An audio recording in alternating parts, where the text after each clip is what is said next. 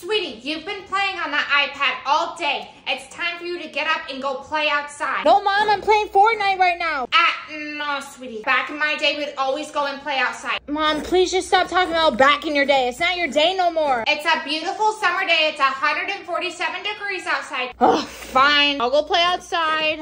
Oh, Mom told me to go play outside. Yeah, I'll go play outside. I'm so glad Sweetie decided to go and play outside. My goodness, is she still playing on that iPad? Uh-uh, not today. Ah, what do you think you're doing? I'm playing outside. No, no, no. What did I say about that iPad?